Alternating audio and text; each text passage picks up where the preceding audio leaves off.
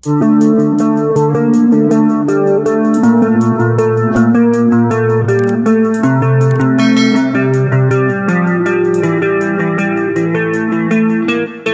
dari beberapa tersangka dalam pembunuhan Brigadir Nofriansyah Yosua Huta Barat atau Brigadir J telah menjalani tes kebohongan ART Irjen Pol Verdi Sambo, yakni Susi, turut mengikuti uji kejujuran tersebut. Namun, polisi menutupinya dari publik, tak mau memberitahukan hasil uji tersebut ke media massa, untuk hasil deteksi kebohongan yang sudah dilakukan kemarin terhadap PC dan juga Susi, sama.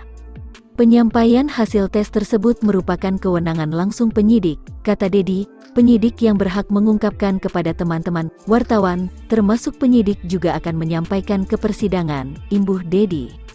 Banyak yang harus dipertimbangkan, jika polisi menyuguhkan hasil tes tersebut ke publik.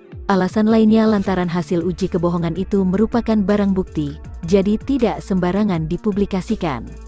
Alat pendeteksi kebohongan yang digunakan Polri bersertifikat The International Organization for Standardization, ISO, berasal dari Amerika tiga tahun lalu, dan berakurasi 93 persen. Barada Richard Eliezer, Bribka Riki Rizal, dan Kuat Ma'ruf telah melewati tes kebohongan pada tanggal 6 September, kemudian dilanjutkan oleh Putri Chandrawati dan Susi pada tanggal 7 September.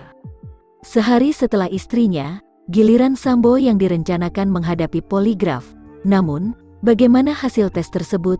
Hanya penyidiklah yang akan menyampaikan hasil tersebut ke meja persidangan. Terima kasih telah menyaksikan video ini hingga akhir. Tetap saksikan berita terbaru kelanjutan Ferdi Sambo.